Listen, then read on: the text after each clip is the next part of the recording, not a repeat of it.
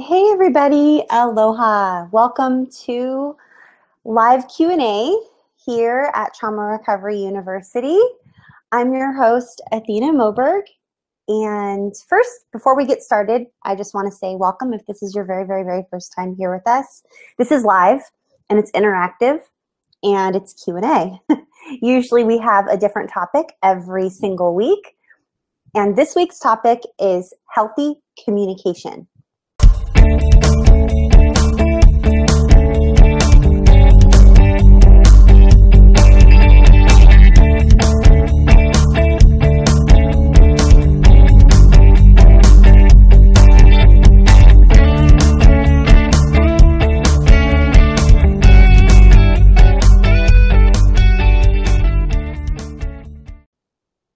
So um, normally I will issue a trigger warning and get you all your contact information before we go ahead and get started on our weekly Q&A.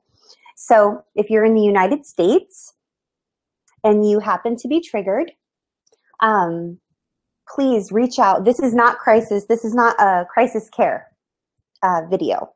I am not equipped for crisis care. So I want you to get the support you need and deserve. And in order to do that, I would love for you to reach out to our friends over at RAINN, the Rape, Abuse, Incest National Network. And they can be reached at rainn.org, or you can reach them on the telephone and speak with them live, 1-800-656-HOPE, H-O-P-E. So if you're located outside the United States and you're in Canada, uh, reach out to our friends over at the Gatehouse.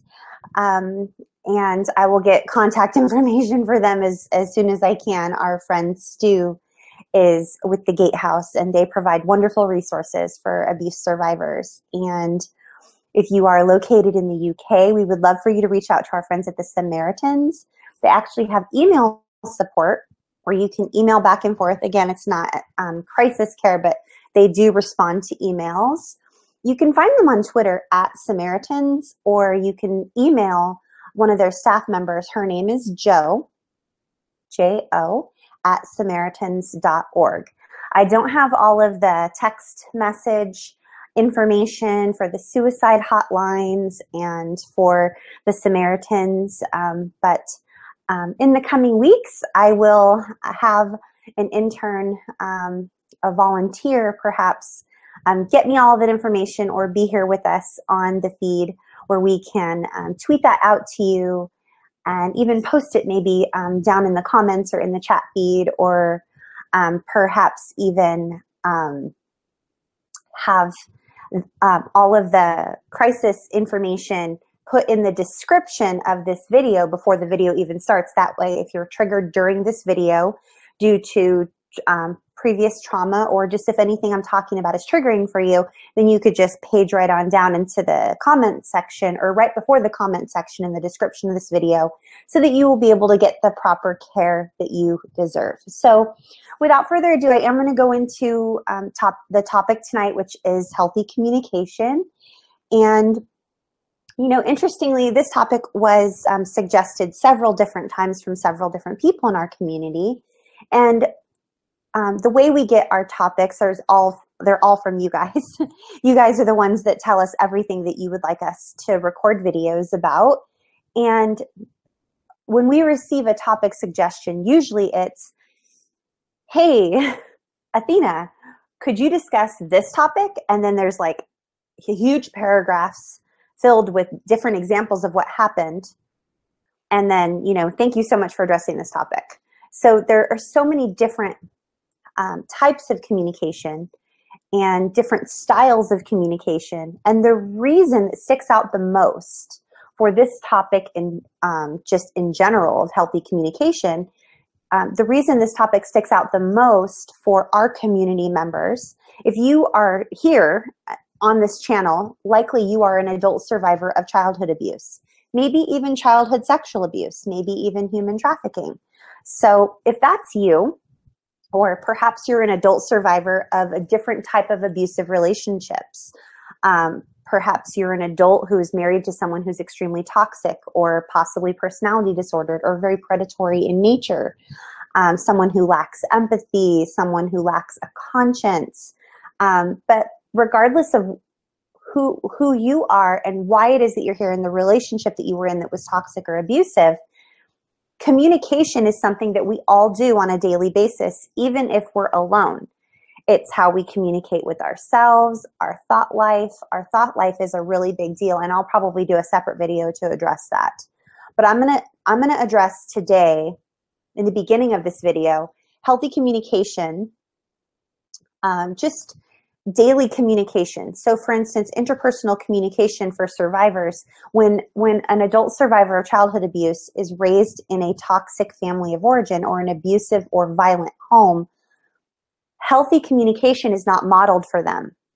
And so oftentimes the only healthy communication they see is at school perhaps with teachers or and then even even more the communication with teachers or with or among students sometimes that might not be health the healthiest example of communication or like how we should communicate in a healthy way. So i want to address those things and i want to really validate that if you are struggling with communication i have several different examples that i'll point out today. A couple of examples are someone who um, was forced to be quiet their entire lives. And so now they struggle um, even speaking speaking up for themselves. Um, another be, because they were forced to be mute their, during their growing up years their formative years and their developmental years and even into young adulthood. So that's if you're isolated or if you're forced to be quiet or if you learn at a very young age that communicating isn't something that's safe, then you will tend to hide or not communicate. And then the whole other end of the spectrum, right? Because abuse is like usually polar opposites. There are silent, silent, quiet, quiet, and then there's the explosive. So if you lived in, in a home that was abusive in nature or toxic, and there were often um, explosive episodes of rage or cursing or manipulation or verbal abuse or just loud violent outbursts then you you either one of two things happens. You will grow up and you'll communicate in that way and you won't know anything's wrong with that. Like i didn't realize that cursing every other word and um, screaming and yelling wasn't a natural, normal, and even healthy way to communicate. I didn't even realize that because the home that I was raised in, I was raised where there was a lot of yelling and screaming, and healthy communication wasn't something that was honored or taught or modeled for me.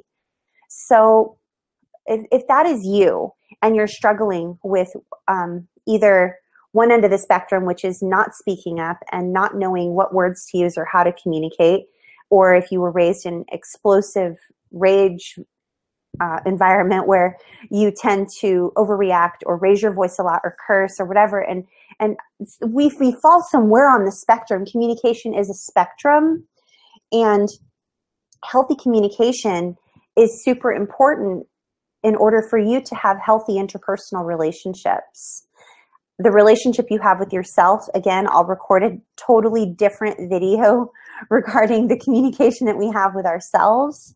Um, but as basic as how you communicate being able to speak up for yourself um, in friendships with other people coworkers um, or the way you speak with loved ones and family members who either are or are not the loved ones from your ta- toxic family of origin, or how it is that you would speak, um, how it is that you would speak up in the workplace to assert yourself in areas that you would typically need to assert yourself in order for you to accomplish what it is that you need to accomplish for your job so all of these different things, and we haven't even crossed the line over into romantic relationships yet. That's a whole nother ballgame as well. And this can all feel very scary for the adult survivor. Communication can feel scary. I just want to say that loud and clear. I don't want to skirt over that. tonight's conversation is going to be very different than any other video on this channel because I I'm not going to share a one page. I'm going to I'm going to actually share emails and comments from people, just screen shares of their actual words. So you know, like these are things that people are struggling with. These are topics that people are struggling with, and you might go, "Oh my gosh, I totally relate relate to that. I thought it was just me." Um, I just want you to know that you're not alone. And I also want to share something very, very personal with you. Okay. Um, a lot of you know me. For, for those of you who are brand new and you don't know me, um, I'm so happy that you're here. My name is Athena Moberg. I'm an adult survivor of childhood sexual abuse and exploitation. And I um, was raised in a very violent and abusive environment and stayed in very close contact with very abusive and toxic people until I, um, very close, as in like under the same roof, until I was in my early 20s. And then I even stayed very close geographically for another 10 years as well. It took me a really long time to heal from the, um, the scrambling. my eggs were completely scrambled up there. and it takes a while to heal. So um, I, I, joke sometimes, uh, at least it elicits some laughs, but it, it's not really a joke. It's actually very serious. Let me plug my computer in here. Um, I was socially inept when I was in school. I, I grew up and I lived in um, many different places. I was um, born in Ohio, raised all over different parts of California, lived in Florida, um, went to six different elementary schools, um, my mom was married several times to a lot of abusive people who were alcoholics or um, just abusive in many other ways sexually abusive, physically abusive, verbally abusive, emotionally abusive. Um, there was a lot of abuse, and I was socially inept. I didn't have a vocabulary. I failed vocabulary tests, and I just I did pretty well in school. Like I studied and stuff, but um, but I didn't really excel. Uh, I was I, I, was busy surviving and really just trying to um, navigate the waters of where I was uh, living living with um, different people in different environments and I never quite really found my bearings and um, it was hard for me. So communicating was a struggle. And when I finally did find my voice and I did begin to communicate, and I begged, begged, begged, begged one of my family members to allow me to go to this um, modeling school where um, they teach you um, uh, poise and manners and and um, like etiquette. and I remember just really struggling in all those different areas and not really knowing um, my way around. And even in school, I just always felt very awkward, like everybody was sort of staring and no one I don't think would have really known it. I mean, some people knew it, but you know, whatever, they were the mean people. but I struggled with communicating. And when I got away and I had a child of my own when I was 18, or actually I turned 19 and then had him three days later. So I almost gave birth on my 19th birthday. But um, communicating was a struggle, and I didn't want my child to grow up the way I grew up. And I wanted to learn how to communicate effectively. It was something I was really passionate about at a very, very young age. And I began studying verbal communication, nonverbal communication, um, social cues, etiquette, um, business correspondence. Um, just, I began studying communication and really wanted to know how to communicate more effectively so that I could land a good job and so that I could be a good mom and so that I could teach my child how to communicate and so that he wouldn't be socially inept like I was. So it was difficult, it was painful. But I want you to know that the tools that you need are necessary, they're out there. Um, the tools that you need that are necessary, they are out there. And I want you to feel safe enough at, in your own time, at your own pace, that you reach out and you connect with a community of safe people that will allow you to practice healthy communication in your own time and learn those communication skills. conflict resolution is something that's a really big deal. That's a whole nother level of communication. Um, I would love to go into greater detail, um, but I want to know what you guys want. So if you guys would let me know down in the comments, do you want to learn more about verbal communication, nonverbal communication, professional correspondence, interpersonal relationships, conflict resolution? Um, there are a lot of different types of communication, and I want to make sure that I'm covering the ones that you want me to. Um, and I'm just so happy that you're here, and I'm so happy you are um, supporting one another typically I would be on the Twitter stream hanging out with you guys using the hashtag no more shame where you can send your questions or you can post your questions right down in the comment section of this video and I'll do my very best to respond to them. There's also a YouTube chat box going on over there. Um, if you received an invite from me or from someone to come tonight, then I'm so excited that you're here. I'm going to get into answering other um, answering your guys' questions. I just want you um, to know. Oh my gosh, Christy, I miss you. I haven't seen you in so long. Hi, Christy. Um, and welcome to welcome to Sammy. I don't think I've met you before, Sammy. I think we just started following each other. So welcome, welcome to Sammy. I hope you guys have welcomed Sammy underscore SNST. Um, I'm so happy you're here. Hi, Kalisha, Vinny. Vinny, you're so sweet.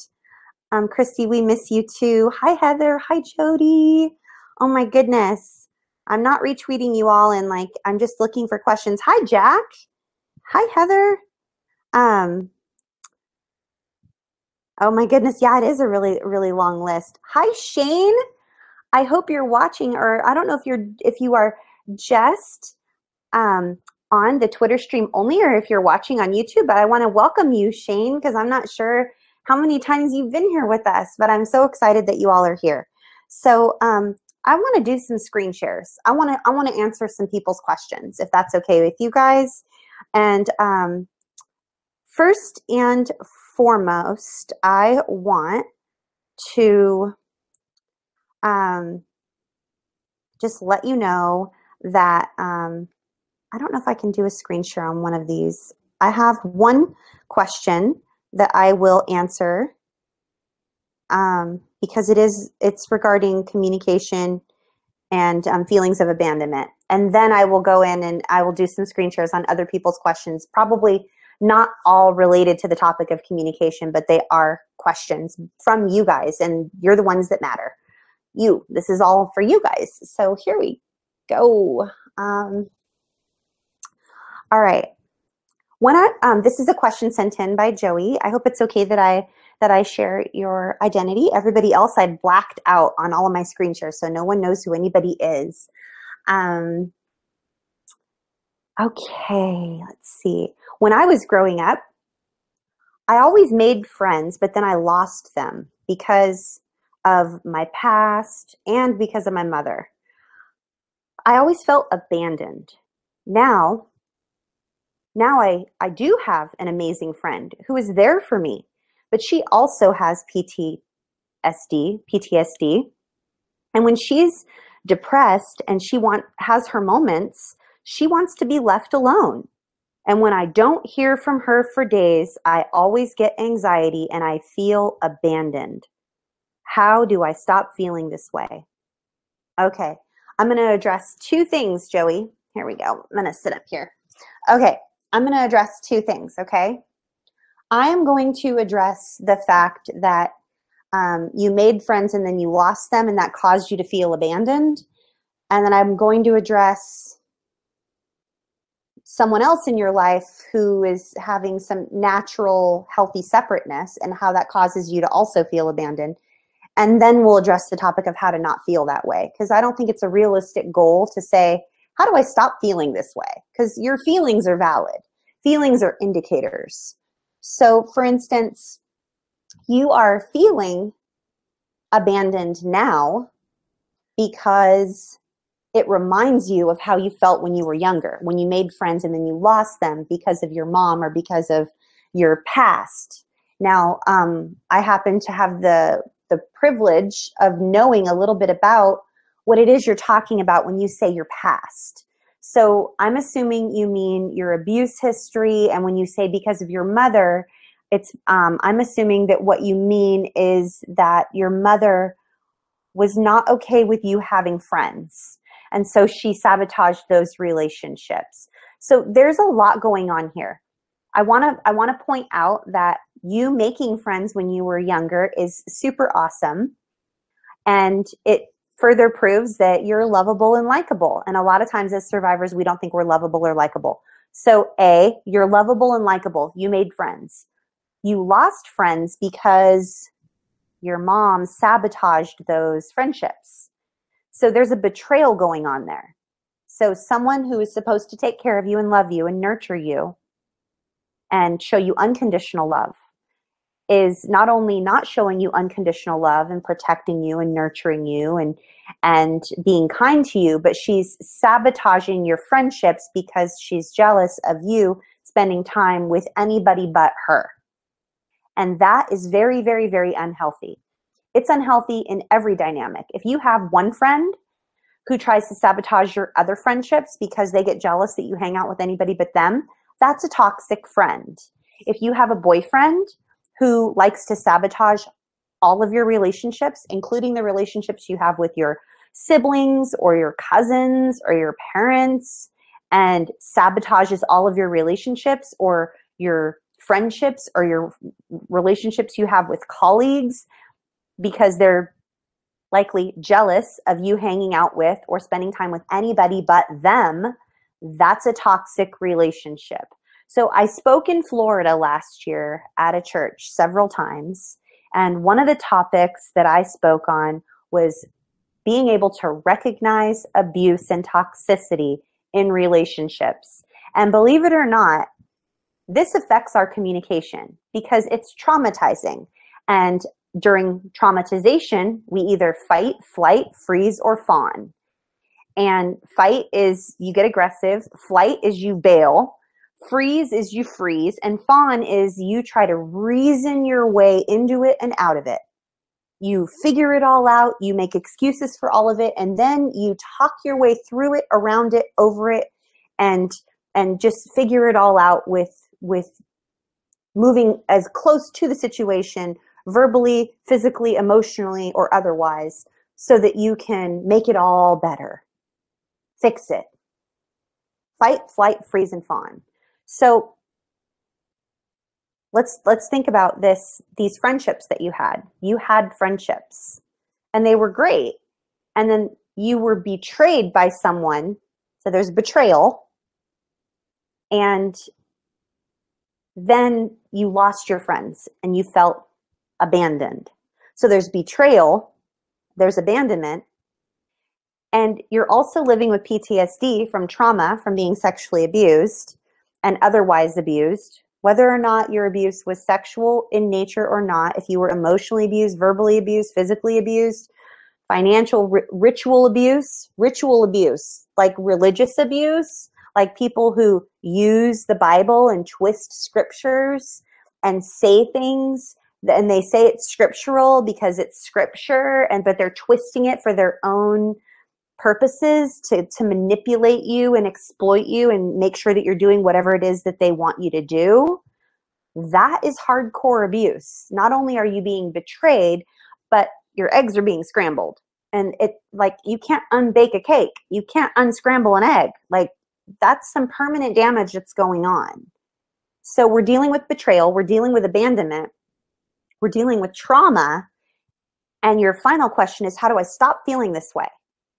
I don't want to say that there's no hope because there's always hope, but it is not likely that you're going to just poof stop feeling that way. It's going to take a lot of establishing and maintaining very healthy boundaries in your life and seeking out those safe people that inspire you and build you up and want what's best for you and really keeping establishing again establishing and maintaining healthy boundaries with people who are toxic keeping them out of your sphere of influence and i know personally that joey you are in the midst of doing that you're in the midst of making sure that you're not around so much vulgar behavior and manipulative behavior in your life and people who use you as a doormat. Um, and I'm proud of you for doing that. I don't think it's a realistic goal for you to not feel that way or stop feeling that way. I think as you, in time, I, I think the answer is time. Time and healthy choices, Joey. Over time and with healthy choices, establishing and maintaining healthy boundaries and believing that you're worth having healthy friendships, those are big. Those are big, and you're going to begin to feel better. Now, I want to address your friend that you have now who lives with PTSD and depression and steps away and needs her healthy separateness, her space, and it causes you, it triggers an abandonment feeling in you. If there's a way for you to remain in the present and really practice mindfulness, notice what's around you. What color are the walls? What are you smelling? What are you hearing? How do you feel? Think about your toes all the way up your body, all the way to the tip of your head, like your toes and then your feet and then your calves and your knees and your legs and just, and really focus on your body parts and maybe step outside or maybe practice some grounding skills. I, I recorded some videos on some of these topics and I know that some of the people in the in the um, Twitter stream and, and YouTube might be able to post some links to some videos that might help you with grounding strategies and mindfulness and that will help you to develop resiliency and begin to feel better and not feel like, because because you could communicate with your friend and say, when you are having a PTSD episode or feeling depressed and you pull away, when you, I feel abandoned. I realize that you're not abandoning me. In my mind, cognitively, I realize you're not abandoning me, but I'm still feeling abandoned. And I just wanted you to know that I'm working on it's no there's nothing for you to do. I don't need you to fix me, but I'm recognizing this in myself and I'm working on becoming a healthier communicator. And I just want you to know I care then and as I can be available to support you, I absolutely will. So, I mean, there's some help. There's some like um, good communication for you. You guys, I'm sorry. I feel like I'm going to be sneezing any second here. We have a weird weather pattern going on here, um, and there's a lot of pollution in the air. And um, my eyes have been really, really itchy, and my nose, and so I apologize if I'm um, sneezing or if I have to like mute everything or whatever. So, Joey, I hope that helps you. I'm going to move on to some other questions. Um, Hey, hi Sue. Hi Sue, shiny blue dress. She's on her on her break right now at work and she decided to stop by and say hello to all of us. So hello Sue. Um, I'm going to share an email that I got with you guys um, from someone. Um, this and I'm going to go through these as quickly as I possibly can, okay? Because I want to make sure I get to as many as possible. Let me see if there's anything. Um, here that I can. Yes, keeping toxic people out of your sphere of influence is so important. Um, oh, yes, Shane, feelings are indicators. Yes, your four-way flashers are going berserk. Yes. Well, if you're feeling frightened, then there's a reason. Um, Oh, let's see. Hi, Charlie. Hi, Destiny. Oh my goodness. I'm I'm I'm paging through everything really, really quickly. Um, okay, I'm gonna do some screen shares. I'm sorry for the going all around here.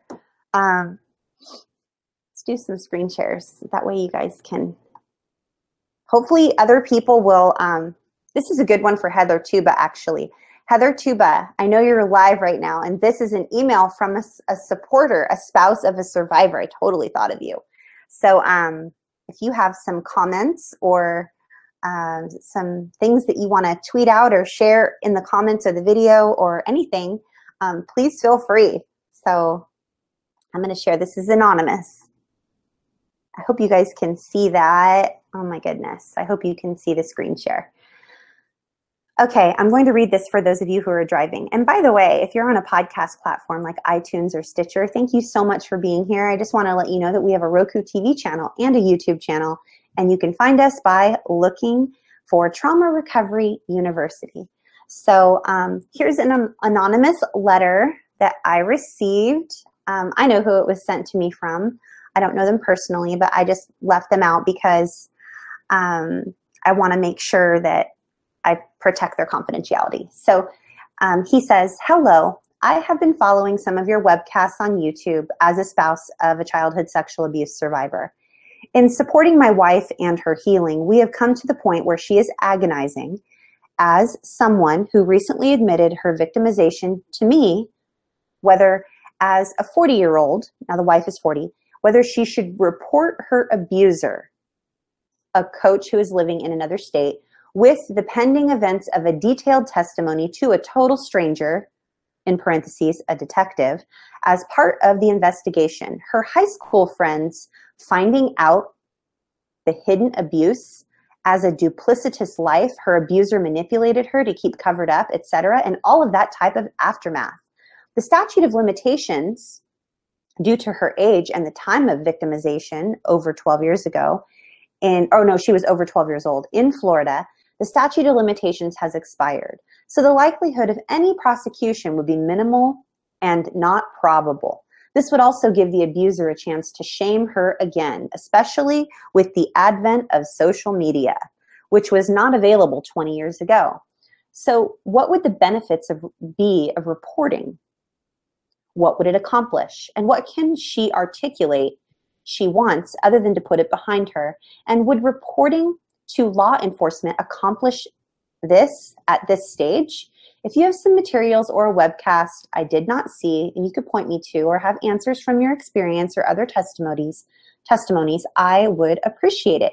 Thanks for the earnest work with survivors. Well, you are welcome, sir. Thank you for the awesome, concise email. I want to address some things here.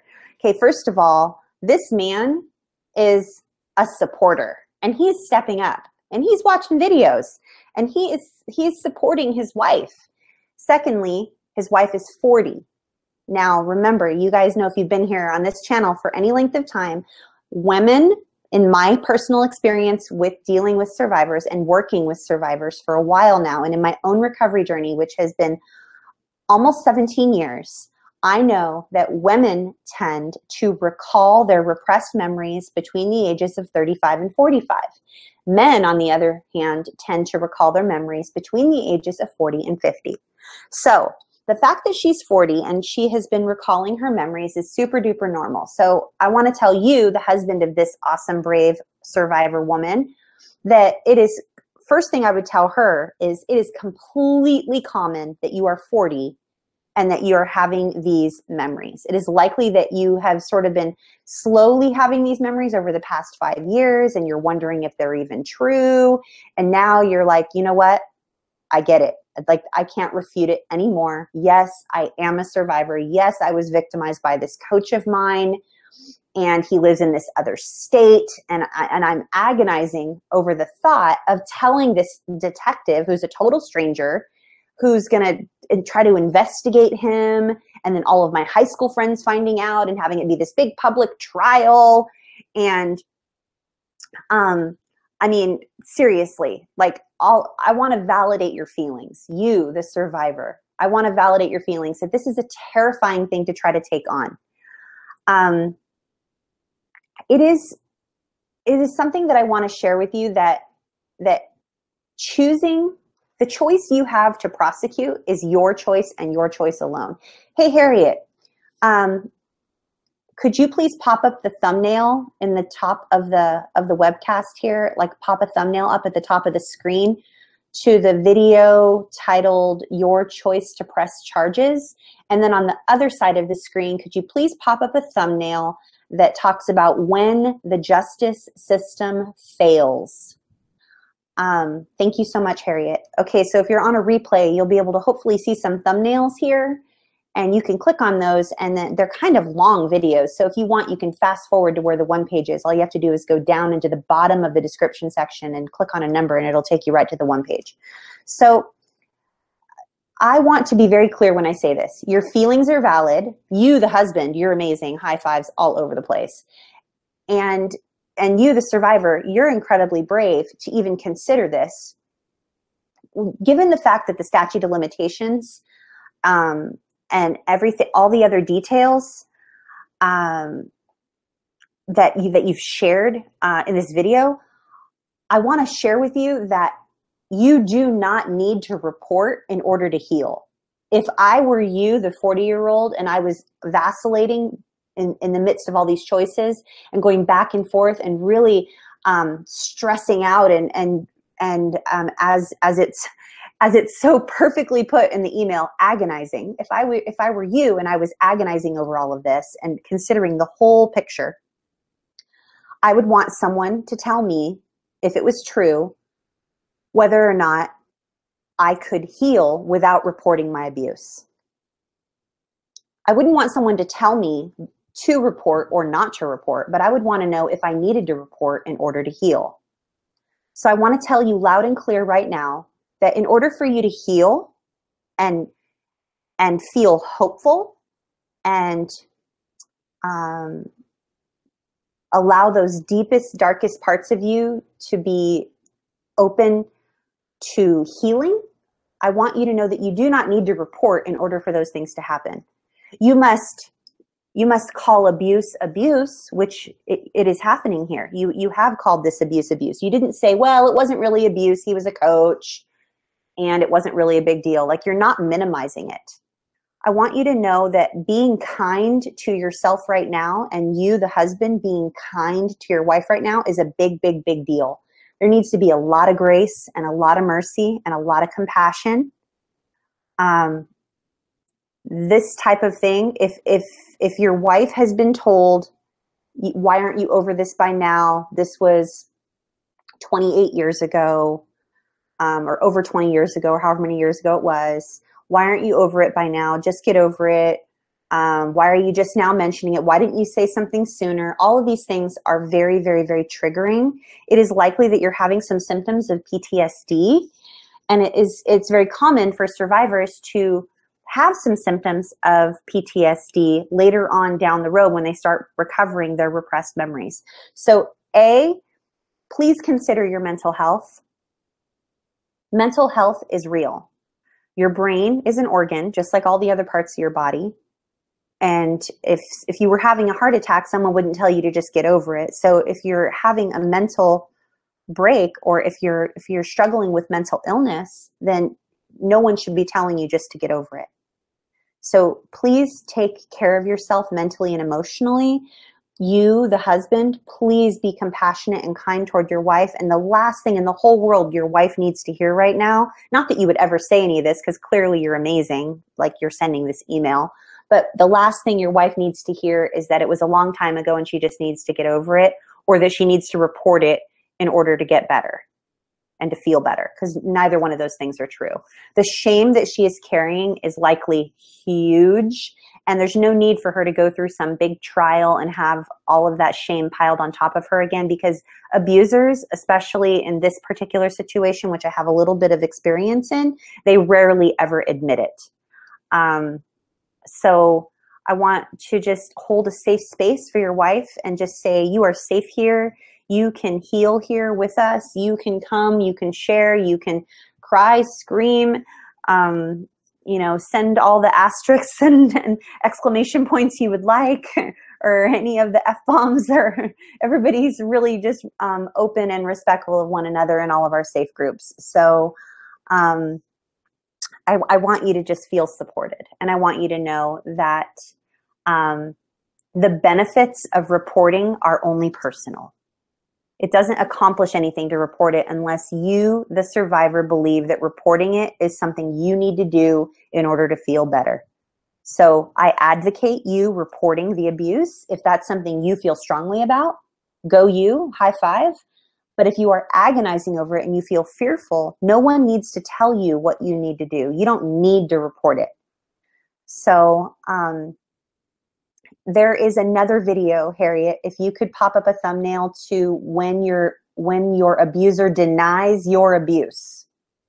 Um, that's a really helpful one as well because it's likely um, i have a gut feeling that if your wife were to come forward and share what happened to her that there would be a slew of other people that said me too me too me too me too and it would be a big big big deal that's usually what happens but i'm not psychic and i don't want to be so you my dear the survivor you are my you are my priority and i would say you need to guard your health, guard your mind, um, really practice some healthy quiet time. And if you are a, a woman of faith and you believe in the power of prayer, cast those cares, um, maybe do some journaling.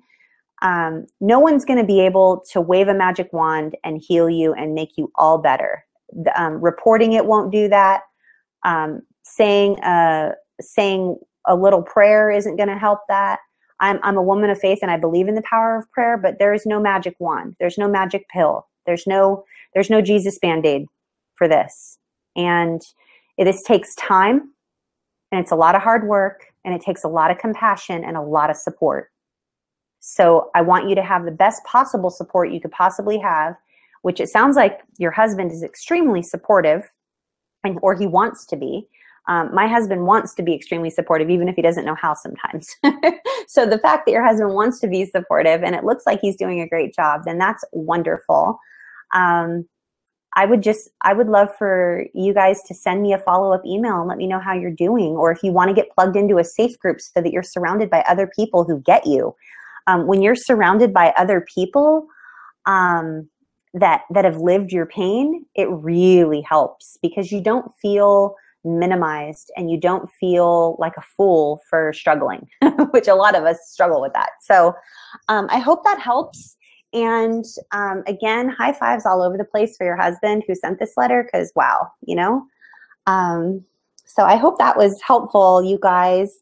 Um, that's a really big deal. I have some other, um, and thank you for being so brave as to send the email to want to help your wife. Um, I have a I have another, I have more questions here. Several. How about this one? Hope you can see that.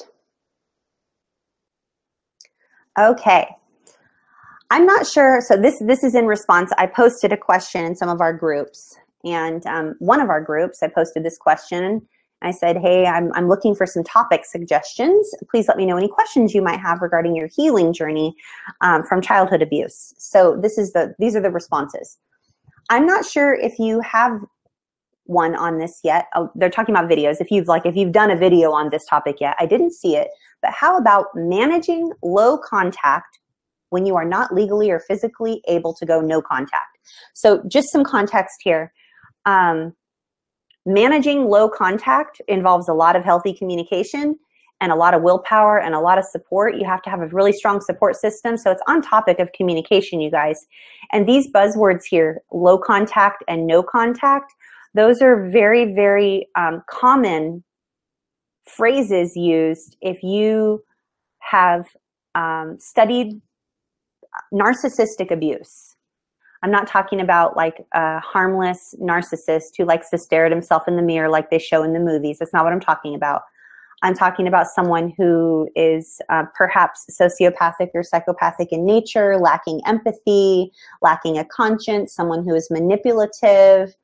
Um, and this person who is responding to my offer to um, record videos wants to know how to manage low contact when they're not legally or physically able to go no contact with this other person. Um, and then a person um, responded to that person and said the boundaries video touched on it, but it didn't go into how to manage flying monkeys and it didn't touch on the emotional reality of it and the mourning that happens, at least for me. So again, a couple of buzzwords. So boundaries, I'm gonna talk about boundaries here. Um, managing flying monkeys. Flying monkeys, if you're dealing with a toxic family of origin or a narcissistic family of origin, flying monkeys are usually loved ones, friends, or family members that are outliers. They're the ones that are involved in your family of origin, but they're not, um, they're the ones that are enlisted by the toxic person. So someone is manipulating you and they can't get to you because you're ignoring them or for whatever reason, they enlist other people, kind of like a smear campaign. Like they try to enlist other people to see their side of it so that you are bombarded with other people telling you the same message that this this um, disturbed individual is telling you. So, and then um, again, so that's flying monkeys, and then emotional reality of it. That's the emotional reality and the mourning or the grieving that goes along with the fact that you've actually been abused, that's huge. Hey, Harriet, if you could please, please pop up a thumbnail of the video that um, was done recently back in December. And the title of it is How to Deal with the Reality that You Were Abused. Um, that's a really, that was a two hour holiday special. um, on how to deal with the reality of like accepting the fact that you're abused. That and there's also, and if you could put up another thumbnail from last year's holiday special, Harriet, um, on the topic of predators, because what we're dealing with on this particular topic of conversation and communication here is how to manage low contact with someone. Um, and and when we're managing low contact, it's usually with someone who's who's predatory in nature. So the thumbnails that I would love, Harriet, are predators from last December of 2016 or 15, and then accepting the reality of our abuse from December of 2016. So December 2015, December 2016. Thank you so much. Okay, so if you're on a replay, you should be able to see thumbnails and you can click on those and watch those, but you got to have like a long time.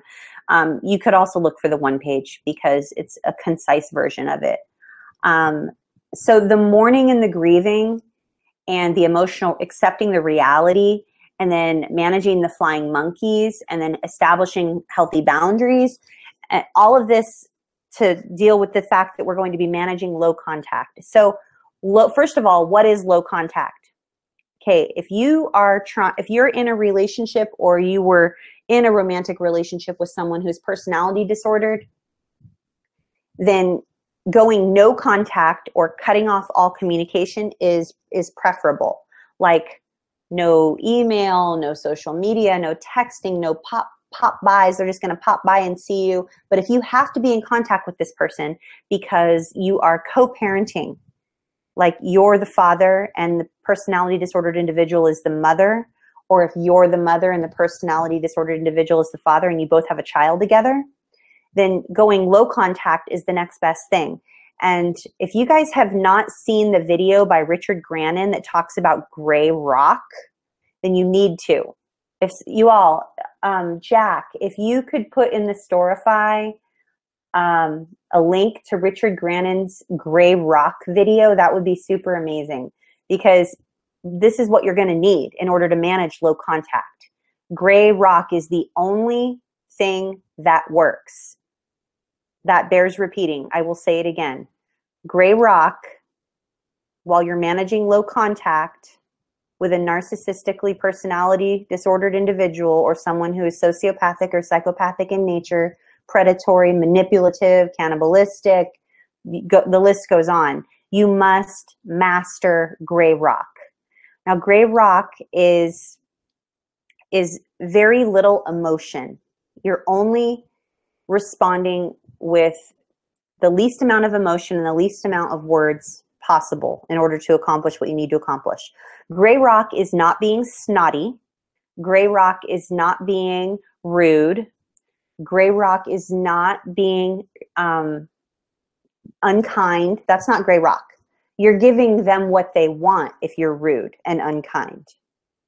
You're giving them exactly what they want. All the narcissist wants is to be the biggest hero in the whole wide world. And if they can't be the biggest hero, they must be the biggest victim. So if you're being mean to them and rude or short with them, you're giving them fuel. It's like the second best milkshake. Like their very favorite thing in the whole world is for you to um, do whatever, you know, be able allow yourself be manipulated by them so that they can you know they can um, control you but if you're not falling for it and you're deciding to just be silent give them the silent treatment or be curt or rude or short or um, dismissive or, or whatever, it's the second best thing. You're doing exactly what they want you to do because then they get to play the victim. Then they get to enlist the flying monkeys and go, Did you see that? Did you see how she was treating me? Did you see I was only trying to be nice to her and she was being rude to me and she was giving me one word answers and and with with a with a tone and with an attitude. Did you see that? And then so they enlist the flying monkeys. They get other people thinking that you're the bad guy so they can play the victim. So you're giving them what they want. So you have to master gray rock. Gray rock is neither emotional nor rude. Gray rock is simply bland. You're unaffected. You're blissfully unaffected by them. They can be rude, rude, rude, or they can be nice, nice, nice, and, and they will not get a response out of you. You will be emotionless and it won't hurt you. You won't be hurt. You won't be excited. You won't be joyful. You won't be mean. You're just gray. You're just there.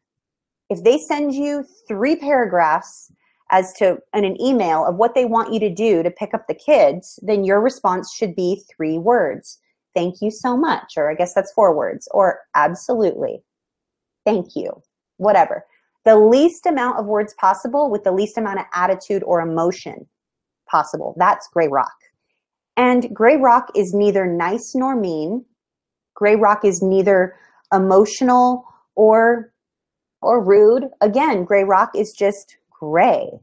Now, this does not happen overnight because if you read down here on this area of uh, the emotional reality and the mourning that happens here, you guys. Oh my gosh. It is devastating to realize that you have been played and that you've been a pawn and that you've been manipulated and that someone's been unkind to you and that they were setting you up to treat you poorly or whatever it is that they were doing. It is devastating, devastating. And so you will likely grieve. And if you don't grieve, if you just stuff it, like, I got to keep it together, ain't nobody got no time for this, I'm just going to keep it together. And guess what? You are going to melt down. And guess when you're going to melt down?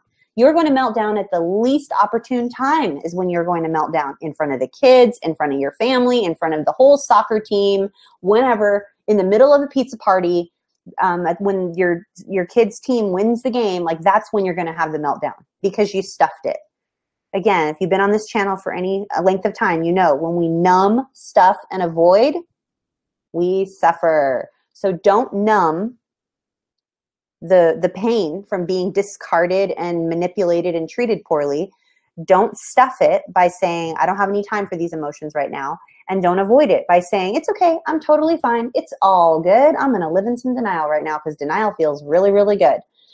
Um, don't do those things.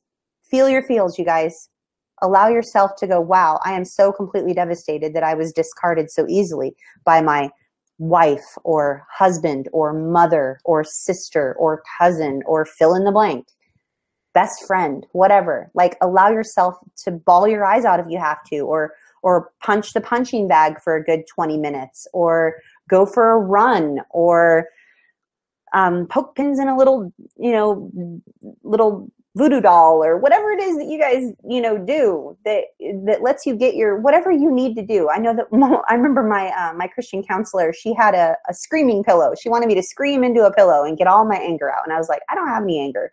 I hadn't accessed my anger yet. So and that's a whole nother video.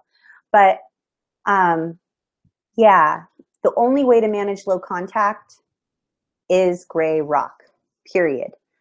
Um it just it just is. It's the only thing that works. If you can't go no contact, you have to use gray rock.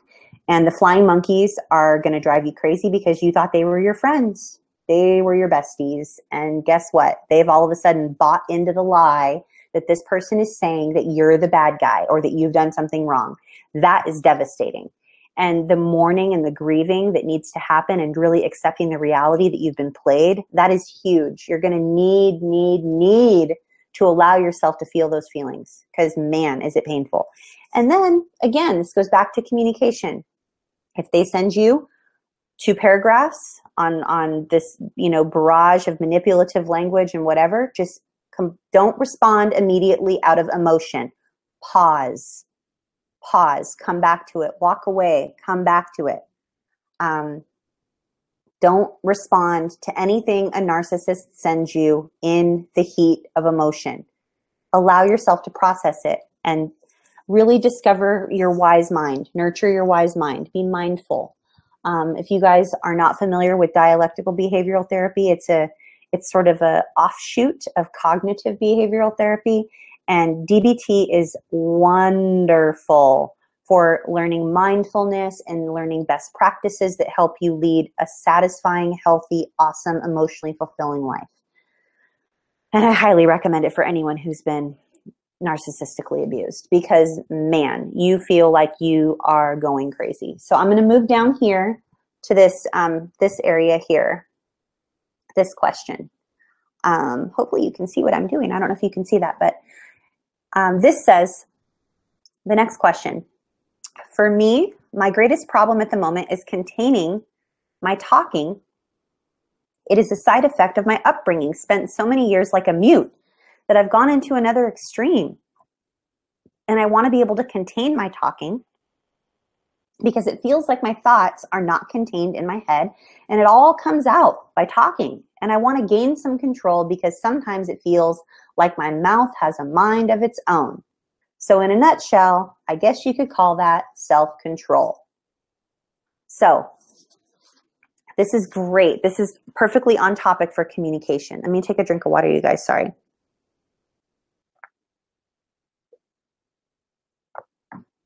Okay. um, so we're gonna. I'm gonna address a few things here. So when you grow up in an environment where your voice is not nurtured and appreciated and valued, that sets you up for all kinds of of drama and toxicity in your adult years. We must, during a young age, be communicated with from someone we love from someone we trust, from someone who is a caregiver, we must we must receive nurturing. We must be told that we matter, that our voice matters, that we matter, that we're valuable, that we are that our existence is valid and that it matters. And we have to have our voice appreciated. And and we need to be told that that that our voice is significant and unique. And you know, if no one's ever told you that, if no one's ever said, you are a miracle, you are a miracle, your voice is beautiful, it matters, then I want to be someone who tells you that right now. You matter. Your voice matters. And for you to be silenced during your upbringing and told, um, and you, you know, you felt like a mute, um, I, I can relate to this, you guys. I can relate to this. Many of you have heard this story, so I'll be really brief. But I was told by one of my abusers that every word that came out of my mouth was meaningless drivel. I didn't even understand what that word meant. I thought it was like dribble, like I was drooling or something. I was not, my voice was not nurtured. It was not appreciated. My existence was not validated. I was told over and over and over again that I should have been aborted. And I hated being alive for years because the, the people who were supposed to love me and care for me were annoyed by me. I was I was a nuisance. I was a nuisance and I was barely tolerated is is the truth of the matter. Um, and I I wasn't my voice wasn't honored or paid attention to or cared about or nurtured and I was never told that my voice was beautiful or that it was significant or or anything. I mean, so this is hard. And and you know sometimes we do go to that other extreme in our adult lives by talking. And it is very common for us to feel like our thoughts are not contained in our head and that it all just comes out. And you know sometimes this this takes a lot of practice. It doesn't just happen overnight. Like this is something that will take time. And practicing healthy life skills in a group a safe group of other individuals that have lived your pain people who are safe that are not going to make fun of you, bully you, exploit you, be unkind. Like that's that's huge, huge, huge. If you want to be plugged into a safe group and and have your voice mean something because your your voice is special and it matters, please go to the about section of our YouTube channel and there's an easy little like one two three and you just follow that and I'll get you plugged in. Everything's anonymous. Um, it's safe. No one will know about it. it. It's it's it's awesome. It's it's wonderful. So I want you to receive the support you deserve. This person that left this message here for this topic is in one of our safe groups actually, and and they transparently shared that they want to be able to contain their talking because it feels like their thoughts are not contained in their head and it all just comes out in a big blur and they want to gain some control and and this i want to say honestly in an in an effort to make this as valuable for you as possible i would say you know it would be really worth looking into well first of all you guys know i always recommend the book safe people and the book boundaries. They're both really helpful books. Safe people and boundaries. Um, and then honestly just practicing communication. Some of my clients, I've had some of my clients, they they literally don't feel comfortable asserting themselves in any way. They have a, a huge fear of rejection when they speak. And so they end up being quiet. Or when they do speak, it all just comes out wrong. And so once or twice a week, I have them go and do little things, whether it's go to the Starbucks and order uh, a tall mocha or go to the bank and withdraw $10 or whatever it is, like interacting with other humans, people that can't tell you no. If you walk up to a place and you're ordering something, they can't tell you no. They can give you pounds of attitude, but they won't tell you no. Like, may I please order a tall mocha? Well, of course. Would you like whipped cream on that? And you'll have to know, like, do you want whipped cream or not? And sometimes it's hard for us to know, do I like whipped cream? I don't even know. I was never allowed to have that. Or, you know, going to the bank, may I please deposit you know this paycheck or may i please withdraw $10 or or whatever it might be. Just practicing doing the little things and doing them over and over and over again. These things seem small but they're big. The small things actually are, are the big things you guys. Um, so i hope that helps and i hope that answers your question. Um, as far as feeling like you have no filter because your thoughts are not contained in your head the only thing that helps this for me and for many of my clients is journaling. And if you don't like your handwriting because you were told that it was ugly when you were little, first of all, I'm so angry with that person who told you that because your handwriting is likely beautiful. And even if it's not, no one should tell you that. It's just wrong. But you know, you can type. You can even use your phone in the notes app or something and like text it. Or there are so many different apps that are free and you can journal your thoughts or you can even do talk to text you can talk into your phone and it will it will type things out for you. And then you get to laugh because they get the, they get the words wrong. So practicing in, in in private so that in public you feel safer that's going to help you a lot with your communication. So i hope this has been helpful for for all of you. I'm going to move on to the next um, the next slide share i hope that that was uh, helpful for you guys. Um, let me see if i have any questions um, from you guys right now Yay, you could, I'm loud and clear and you can see the screen share. Yay. Um, let me see. I hope I have answered everything. Um, let me see. Sorry for that delay, you guys. um,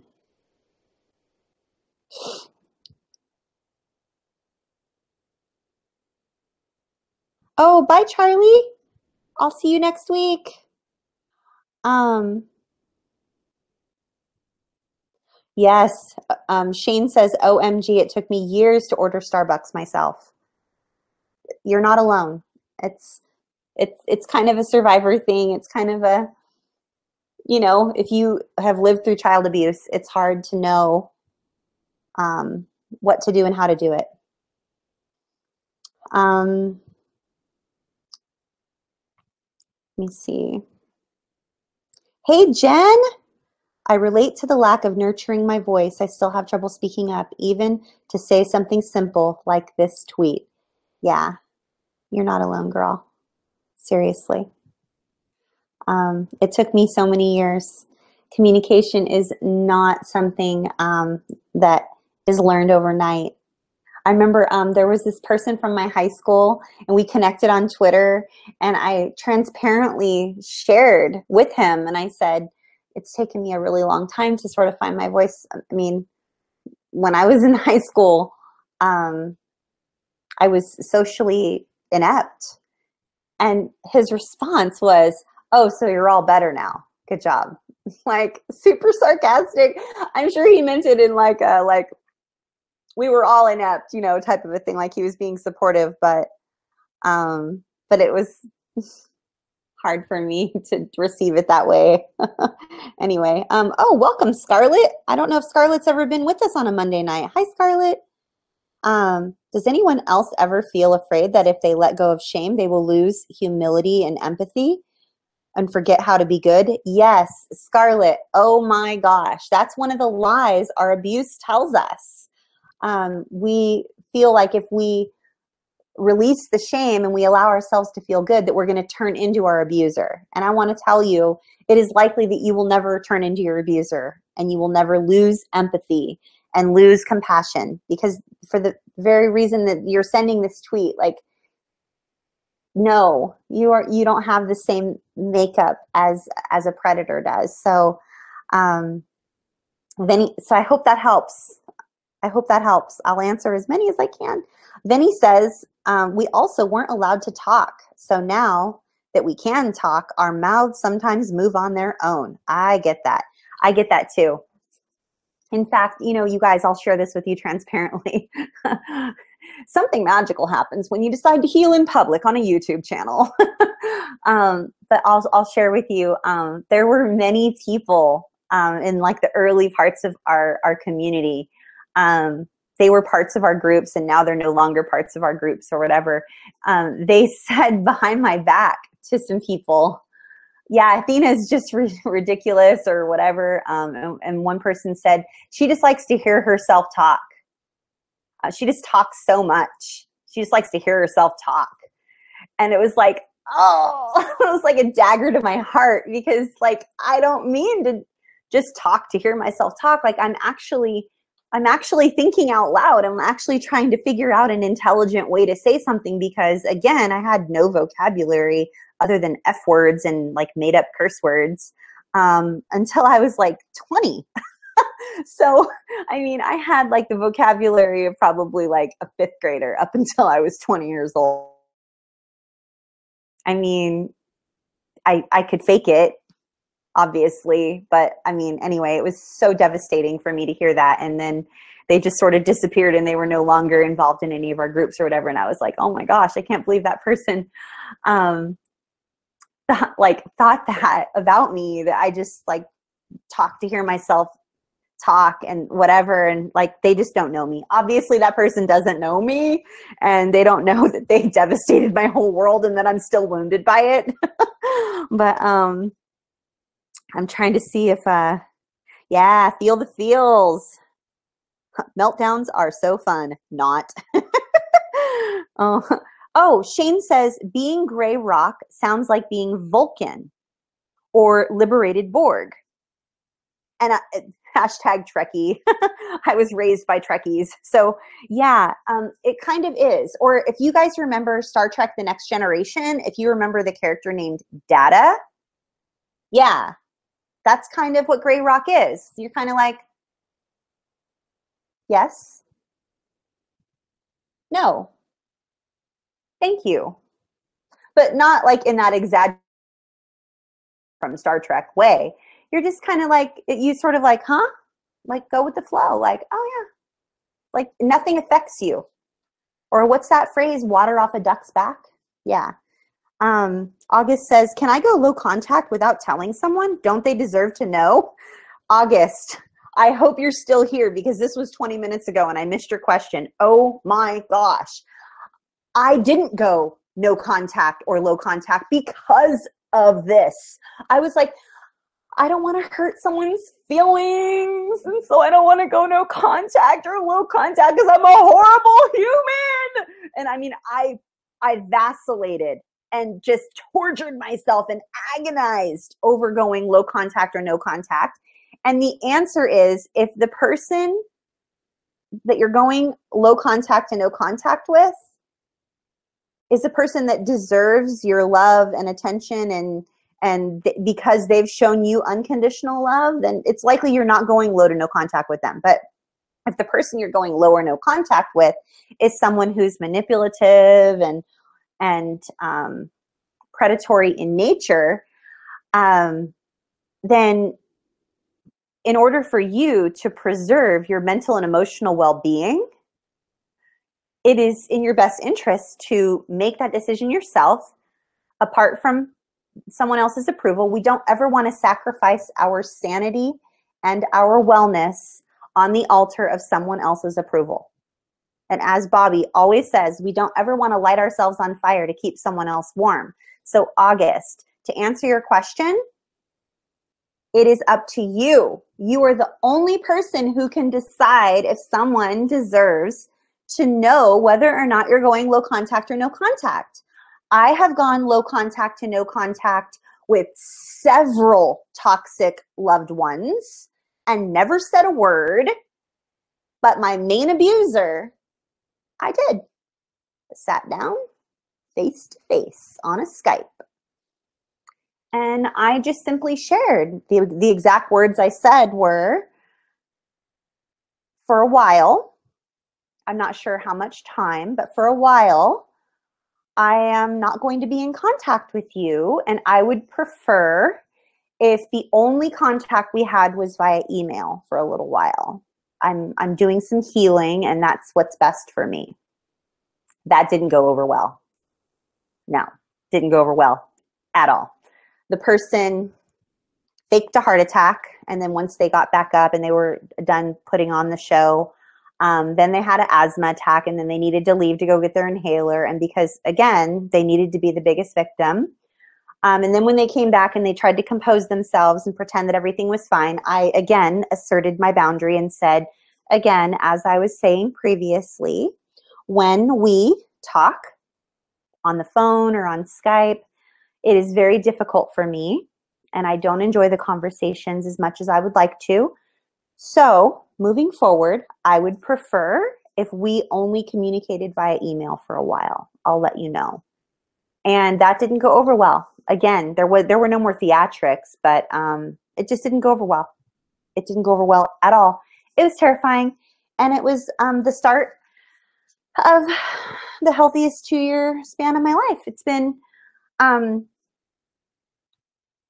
two years, three months, and 18 days, I think.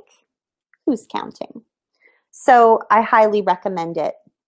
And the only person that can say who deserves to be communicated with, if you're going low contact or no contact, the only person that gets to decide that is you.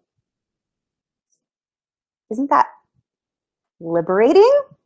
Yes. Yes. You, you get to decide. You get to decide when and how to communicate your need. And I'm so proud of you for asking, August. Oh my gosh. I have more questions. I have more questions here. Oh my goodness, I only have 15 minutes left. And I'm already, you know, like this used to be 60 minutes and it's turned into 90. I really should keep these shorter. Um, no one's no one's um, complained the last month or so I used to get nasty comments. People would, I even put in the description section of this video today, no need to get rude in the comments about all the talking. Like I'm me to talk. So, or as Richard Grannon would say, YouTube is strictly voluntary, darling. Voluntary. So yeah, no need to get nasty because I'm sitting here talking or what that other person said. You know, Dana just talks to hear herself talk. She's so annoying. Here we go. More questions. Okay. Oops.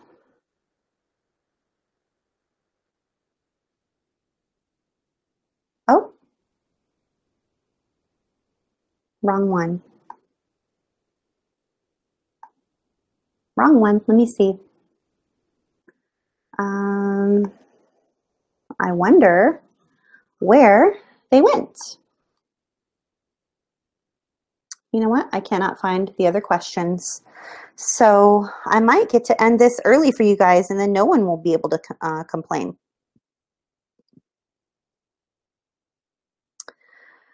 See here. It doesn't look like I have any questions from you guys. The Twitter stream is flying along and the YouTube chat is too. All right, well, you guys are all good. Um, I'm super happy that this was um, helpful for you guys. Also, thank you for letting me know that you're receiving the resources and that you're finding them helpful. Um, I am so grateful. Oh, Jody just put out a really good meme. You guys, thanks, Jody. High fives. Jody says the biggest communication problem is we do not listen to understand, we listen to reply. And um, yeah, I just want you to know that um, that is one of the biggest communication issues. Um, it is it is definitely when we that's one of the things that I think we as a human race it's sort of we don't listen to understand others. We listen to be understood so that we can start communicating so that we will be understood. Um, but the more we listen to others and we try to understand where they're coming from um, i believe the healthier the communication is um, so I'm going to need to know what types of communication you would like me to discuss more in depth, whether it's um, professional correspondence and communication, email communication. Um, oh, I might get some questions. Hold on, I might have a couple questions coming. Thank you so much, Matt. You're awesome. Um, oh, Jen. Thank you. Thank you, Jen. Thank you for validating my existence. I appreciate you so much. Thank you, Jen. Oh, here's a question from you guys. Okay. Lizzie says, I wanted to know how to tell her school that her behavior is not meant to be disruptive. She just doesn't know how to tell them. I'm assuming Lizzie might be talking about her child, perhaps, and that um, maybe clarify if I believe Lizzie's probably talking about her child, maybe her daughter and her daughter's behavior is not meant to be disruptive. She just doesn't know how to tell them. Um, this was a big deal for me. Um, this was really that's really relevant for me when I was growing up. Um, I, I mean, depending on what was going on at home on any given day, oh my goodness, I didn't know how to act. I had no social skills. I don't know how to drive this home any more clearly than to tell you that I was just this abused little girl that had no love and no validation and no kindness and no healthy food um, and very little acceptance, very little kindness. Um, I didn't believe anybody was really there for me. My dad was like my hero at the time because anytime the abuse got too, too bad, he would drive and he would come rescue me, but then he always brought me back and it was really bad. I remember telling him how bad it was, and he always brought me back. And so at the time, I was so enamored with the fact that he was rescuing me that I didn't have the courage to question why he kept bringing me back. Like now, here in my adult years, and my dad's actually um, passed away. Like I'm a, uh, I'm thinking, dude, grow a pair and protect your kid.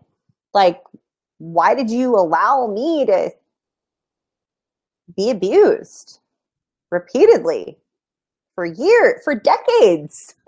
and then the table sort of turned when I was like 22, 23, 25, I don't know. And then he sort of became abusive towards me and it wasn't anything I could ever really prove, you know, because he would always be like, I was just kidding, you know. But I mean, I was always, you know, I was always called fat and ugly and stupid and um, fat, ugly, and stupid and clumsy and dumb. Um, so yeah, I mean, I don't know. That was hard.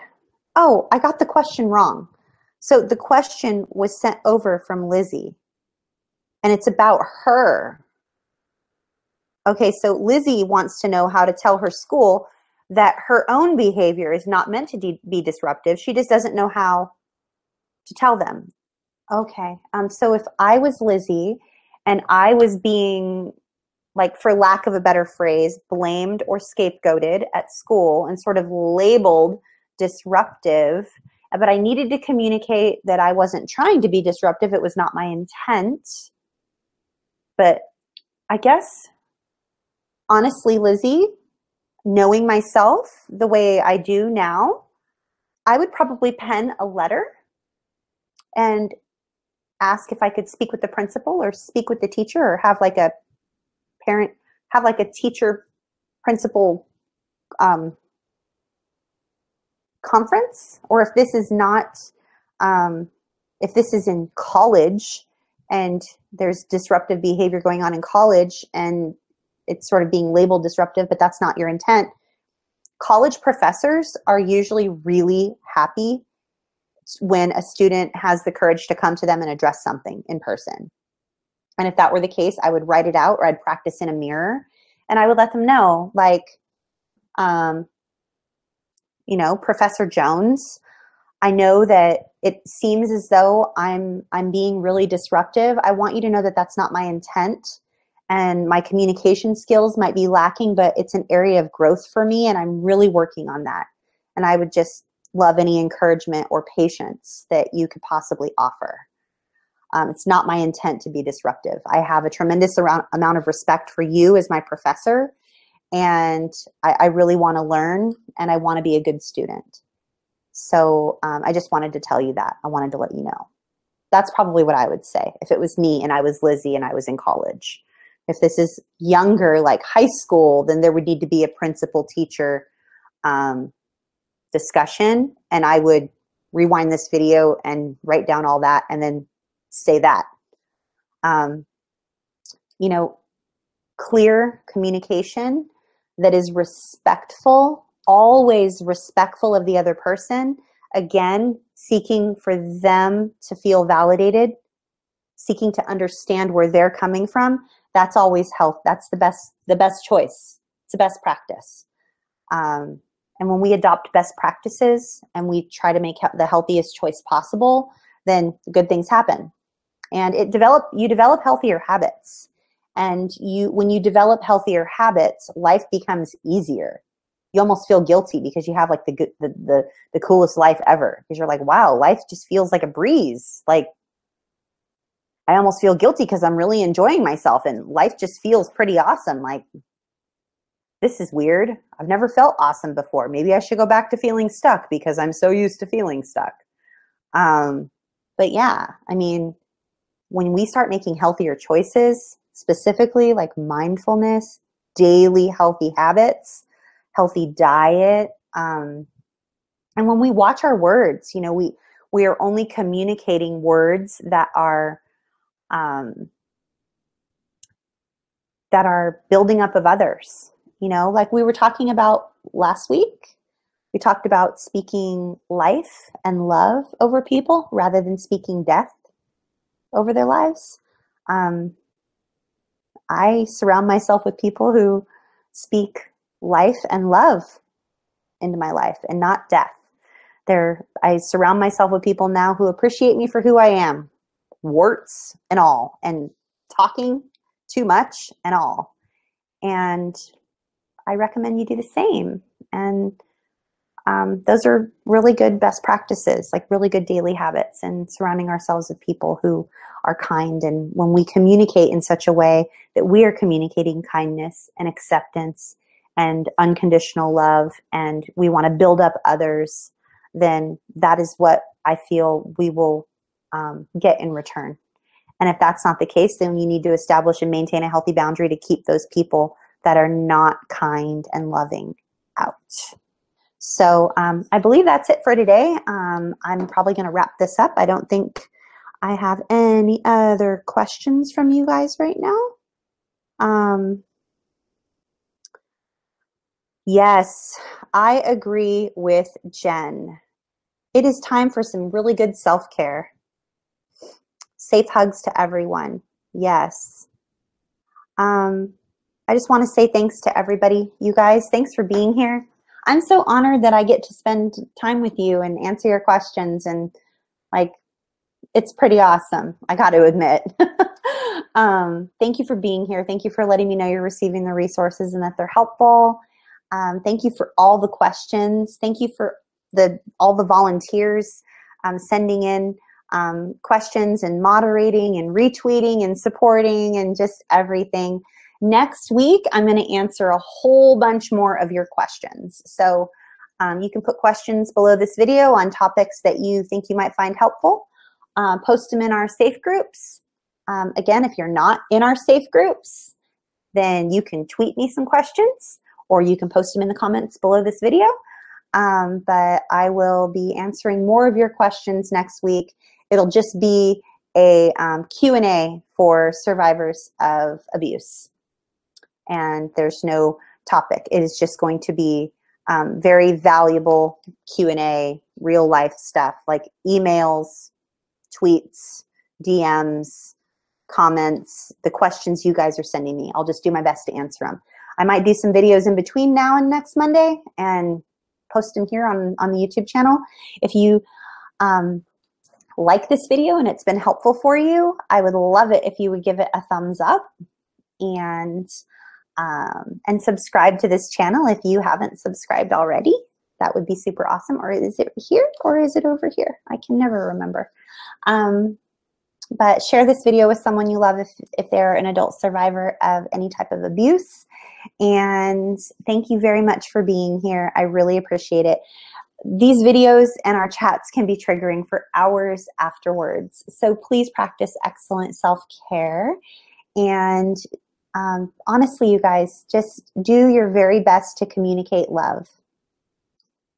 Go speak love over someone's life. Go be kind and generous and caring and communicate clearly and effectively, always thinking of the other person and um, being respectful. And that's probably, that's probably what I'll end on. So I'm Athena Moberg and I love bringing you everything you need for healthy, informed trauma recovery. Thanks so much for being here, you guys.